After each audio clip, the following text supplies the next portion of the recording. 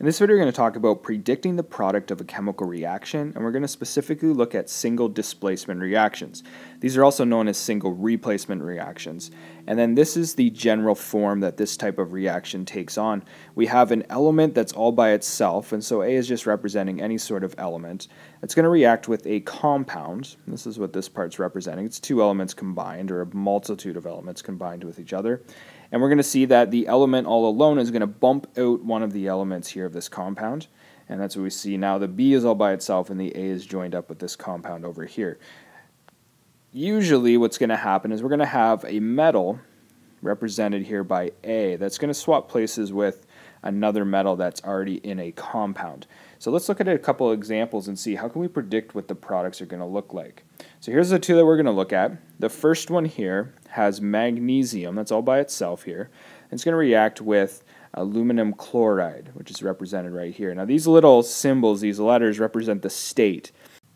And so the S here means solid, and then the AQ means that it's dissolved in water. And so this stuff here would be actually dissolved in water, kind of like when you put salt, table salt, into water and dissolve it.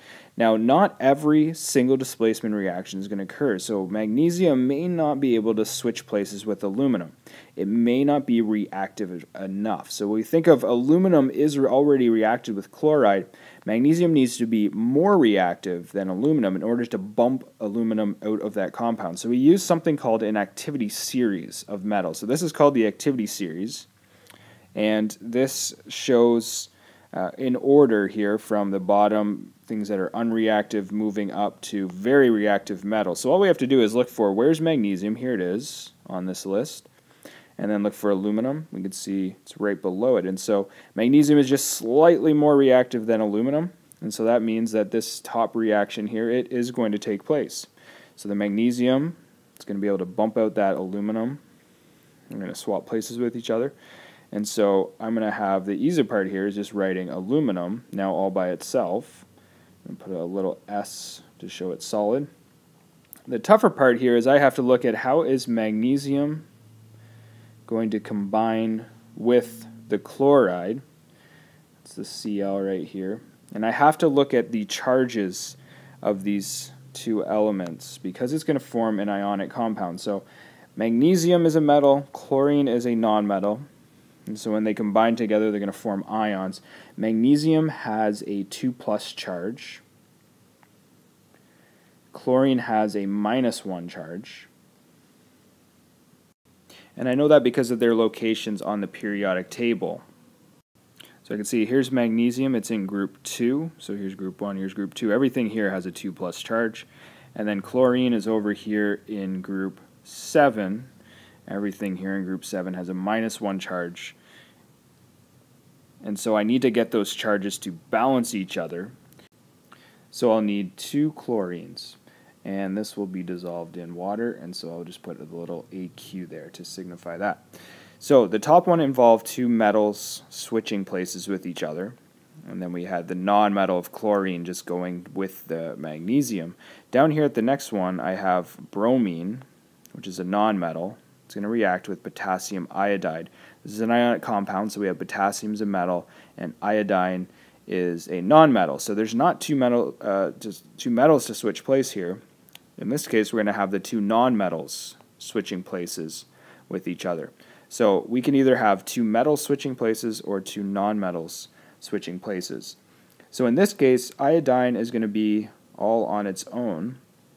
And the one thing we need to keep track of here is what do elements look like when they're by themselves? Now, magnesium and pretty well all metals are just going to be the symbol and then a little S to show it's solid. Iodine, right here, is a diatomic element. That means when it's found by itself in nature, it exists as two atoms bonded together. That means diatomic. And there are seven diatomic elements nitrogen, oxygen, fluorine, chlorine, bromine, and iodine. So these six right here in this L shape, and then hydrogen over here, when they're found on their own in nature, they're found as diatomic elements, so two of them combined just like this. You just kind of have to remember that. And so I'm going to put a 2 when I write this symbol, and iodine is usually solid at room temperature. And I'm going to end up with the bromine now combining with the potassium. Once again, it's an ionic compound, so I have to look at those charges. I'm going to have potassium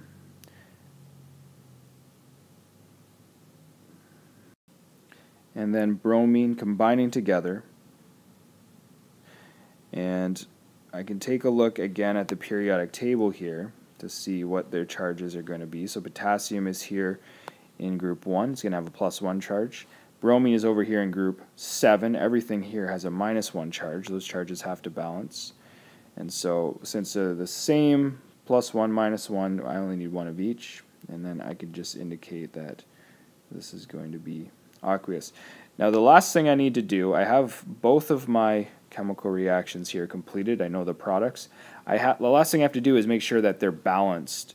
And so I'm going to go ahead and balance these. I'll start with the one on the bottom because that's kind of the easy one to do. I'm just going to need to put a 2 right there and a 2 right there so everything is balanced. And then the top one, I'm going to need to put a 3 right here and then I'll need a 2 there, a 2 there, and a 3 there. If you want to review the video on balancing chemical equations so you can see how I did that, uh, you can click on the link to do that. And that is predicting the products of chemical reactions involving single displacement reactions.